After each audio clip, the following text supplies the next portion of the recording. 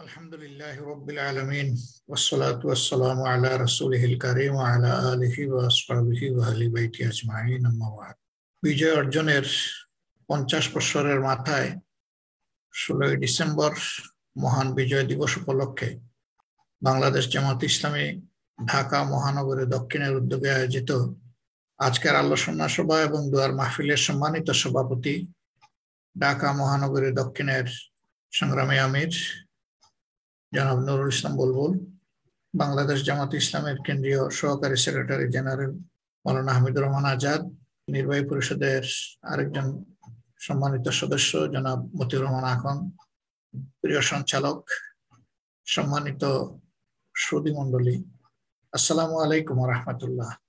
আজকের এই মুবারক সময় আমি আমার প্রিয় দেশবাসীকে অন্তরের অন্তঃস্থল থেকে সালাম জ্ঞাপন করার পাশাপাশি মহান বিজয় দিবসের শুভেচ্ছা জ্ঞাপন করছি।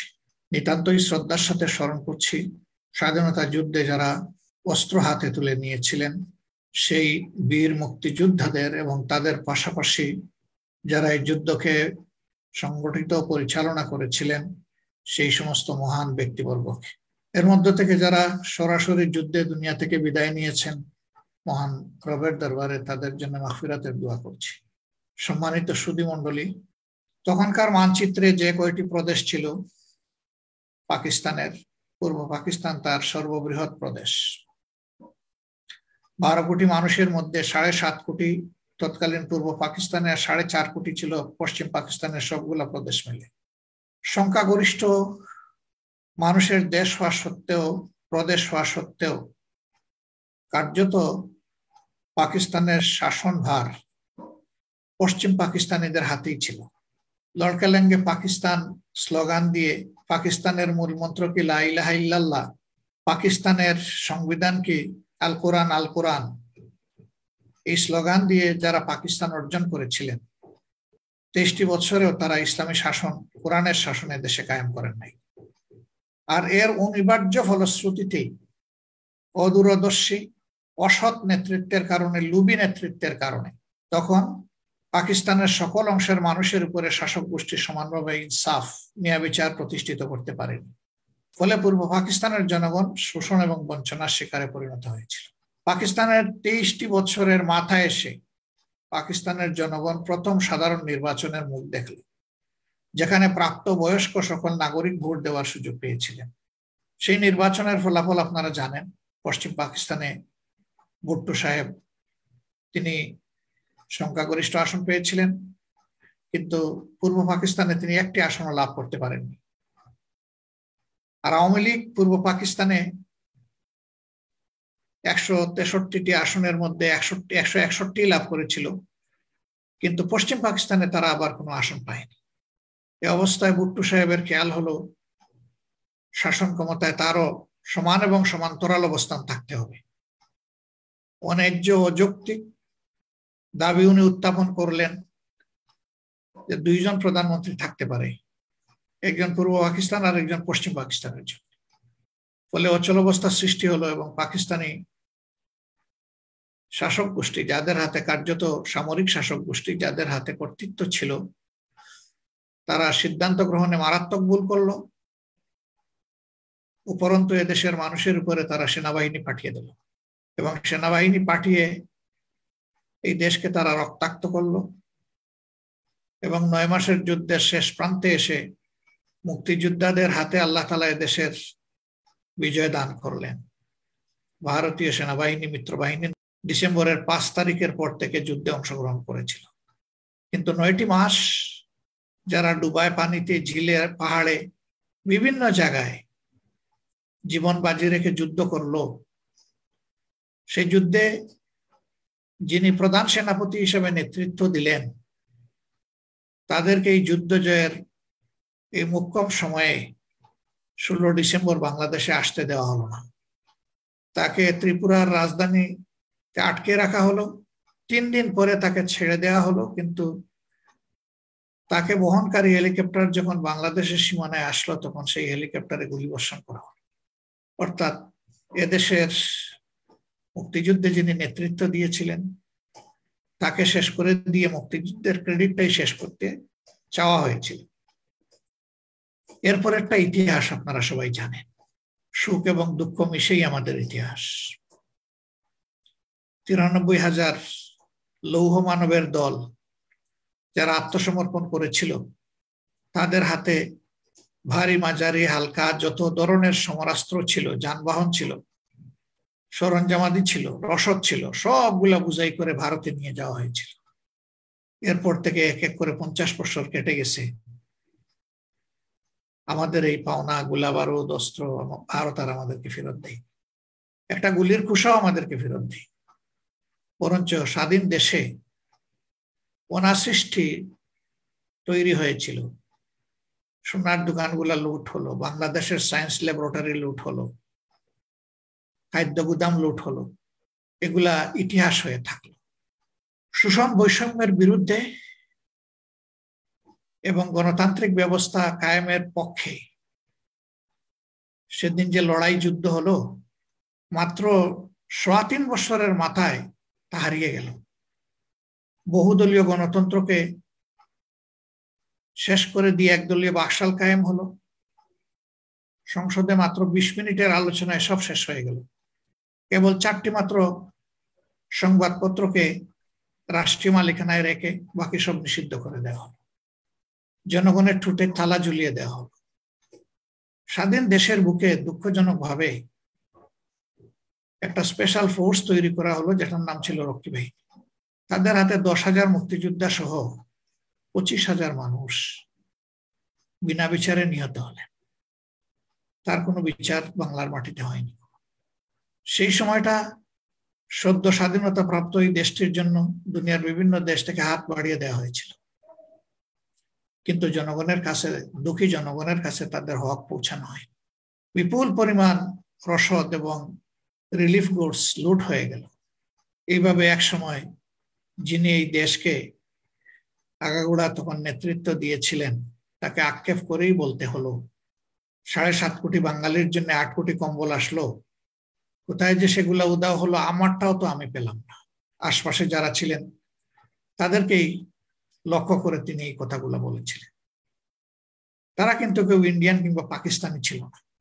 তারা তার দলের লোক ছিলেন, শীর্ষস্থানীয় নেতৃবৃন্দ ছিলেন। তাদের হাতেই ক্ষমতার বাঘ ছিল শেষ পর্যন্ত দফায় দফায় পট পরিবর্তন হতে হতে আজকের এই পর্যায়ে এসে আমরা উপনীত হয়েছি। কিন্তু আফসোস সেই যে হারিয়ে যাওয়া মানুষের একান্ত কামনার গণতান্ত্রিক অধিকার, বাঁচার অধিকার, অর্থনৈতিক অধিকার, শিক্ষার অধিকার, স্বাস্থ্য সেবা পাওয়ার অধিকার, সমস্ত মৌলিক নাগরিক অধিকারগুলো সেই যে হারাতে শুরু করল, আজকে এই পর্যায়ে ক্রমান্বয়ে এসে সর্বহারা জাতিতে আমরা পরিণত হয়েছি। এখন এই জাতির একটি মৌলিক অধিকারও আর প্রতিষ্ঠিত নেই। কোন সাংবিধানিক সংস্থা প্রতিষ্ঠান বাংলাদেশে এখন আর কাজ করতে পারছে না। যে দেশের একজন বিতর্কিত প্রধান বিচারপতি, তার অনেক কর্মকাণ্ডই বিতর্কিত ছিল, কিন্তু সরকারই তাকে প্রধান বিচারপতি বানিয়েছিল। যতদিন তিনি তাদের পারপাস সার্ভ করেছেন, তাদের কোথায় উঠবস করেছেন, ততদিন তিনি তাদের এপ্রিসিয়েশন পেয়েছেন।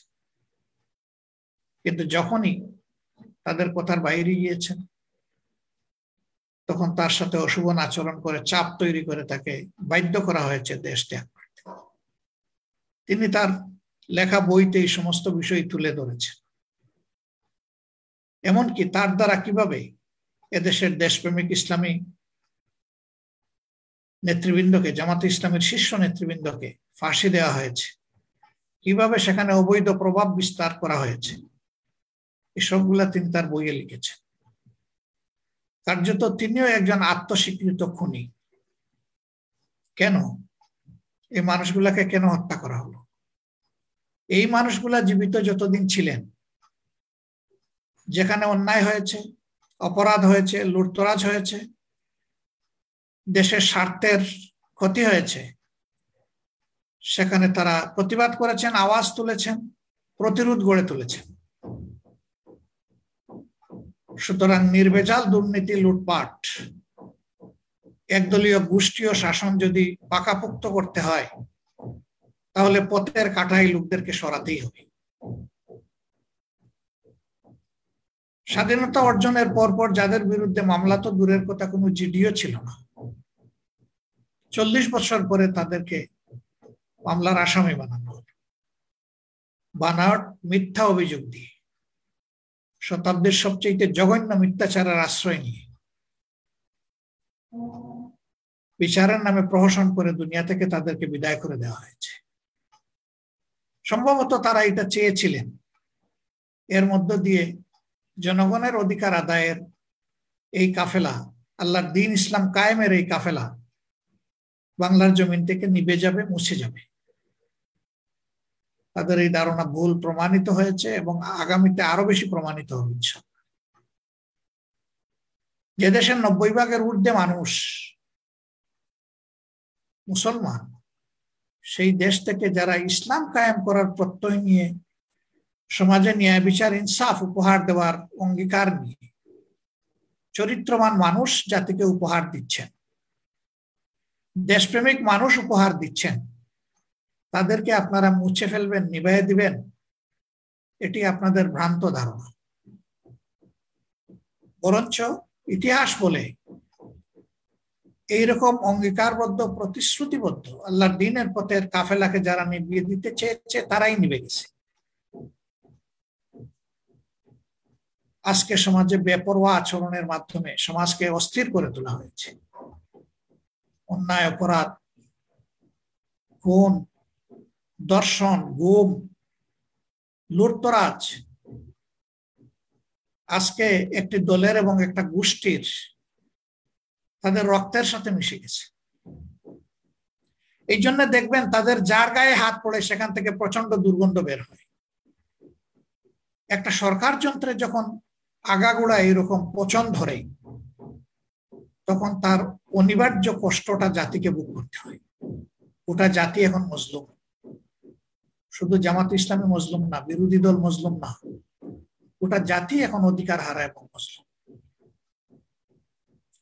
গত নির্বাচনে আপনারা দেখেছেন ফার্সিক্যাল ইলেকশন।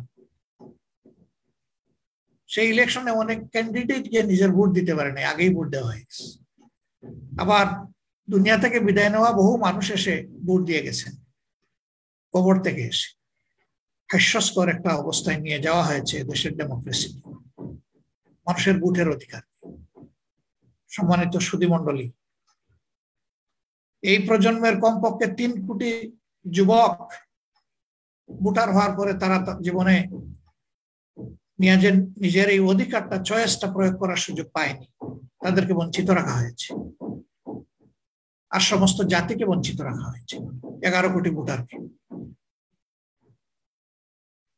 আমরা একটা গোষ্ঠীর কাছে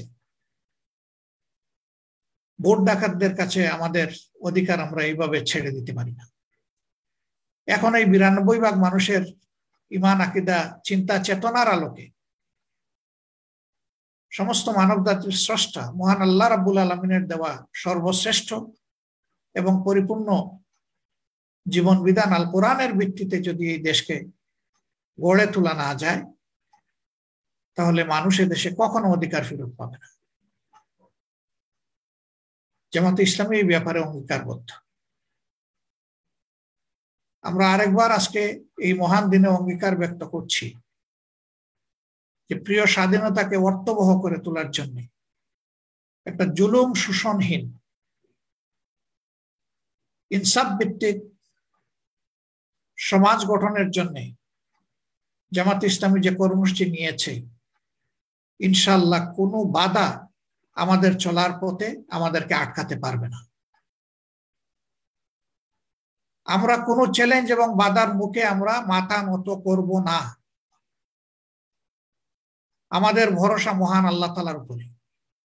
আমরা কাজ করি মহান আল্লাহ তালার বিধান কায়েমের জন্য। সুতরাং আল্লাহ তালার সাহায্য অবশ্যই আমাদের সাথে আছে এবং থাকবে বলে আমরা গভীরভাবে আশাবাদী। আর মহান আল্লাহর সাহায্য যাদের সাথে আছে, তাদের কাউকে আর পরোয়া করার কোনো প্রয়োজন নেই। আমাদের শীর্ষ নেতৃবৃন্দ হাসি মুখে এই ফাঁসি বরণ করে দেশের জন্য তারা প্রমাণ করে দিয়েছেন যে মুমিনরা আল্লাহ ছাড়া কারও কাছে মাথা নত করতে জানে না। ইনশাল্লাহ আমরা শুধু আমাদের দলীয় সহকর্মীদের মাথা নয়, সারা জাতা, জাতির মাথা উঁচু করার জন্য। আল্লাহ তালা আমাদেরকে যতটুকু সাহায্য দিয়েছেন, তার পূর্ণটুকুর সদ ব্যবহার করে আমরা এই জাতির মুক্তির লড়াইয়ে আমরা আছি ইনশাল্লাহ আমরা থাকব। আজকে এই জাতির গানে একটা জগদ্দল পাথর বসে আছে। এরা জাতিকে ভাগ ভাগ করে বিভক্ত করে কারও ইশারায় অঙ্গুলি হেলনে তারা দেশ শাসন করছে। যতদিন পর্যন্ত জাতি বিভক্ত থাকবে, অধিকারের ব্যাপারে ঐক্যবদ্ধ না হবে, ততদিন পর্যন্ত অপশক্তির দাপট এবং দুঃশাসনে দেশে চলবে। এই জন্য আমরা সকল দল, মতের দেশপ্রেমিক মানুষের কাছে আহ্বান জানাচ্ছি। আসুন স্বাধীনতার এবং বিজয়ের এই পঞ্চাশ বৎসর পূর্তিতে আমরা আরেকবার শপথ নেই। জাতিকে দুঃশাসন থেকে মুক্ত করার জন্য আমরা ঐক্যবদ্ধভাবে কাজ করব এবং কোনো ধরনের প্রতারণার ফাঁদে পা না দিয়ে এখন এক দফাই আমাদের দাবি হওয়া উচিত যে আগামী নির্বাচনটি, সাধারণ নির্বাচনটি হতে হবে অবশ্যই দল নিরপেক্ষ একটি সরকারের মাধ্যমে। আমরা আশা করব সকল দলই দেশের মানুষের কল্যাণে রাজনীতি করে। তাই যদি হয়, তাহলে এর কোনো বিকল্প আমাদের সামনে আর খোলা নেই। সেই একটি মাত্র দাবিতে আসুন, আমরা আমাদের অধিকার ফিরিয়ে আনার জন্য লড়াই করি। আল্লাহ রাবুল আলমিন আমাদেরকে সেই তৌফিক দান করুন। যদি আমরা এমন একটা ঐক্যবদ্ধ লড়াই করতে পারি তাহলে নিশ্চিত অতীতে যেমন জনগণের অধিকার ঐক্যবদ্ধ আন্দোলনের মাধ্যমে আদায় হয়েছে আগামীতে হবে ইনশাল্লাহ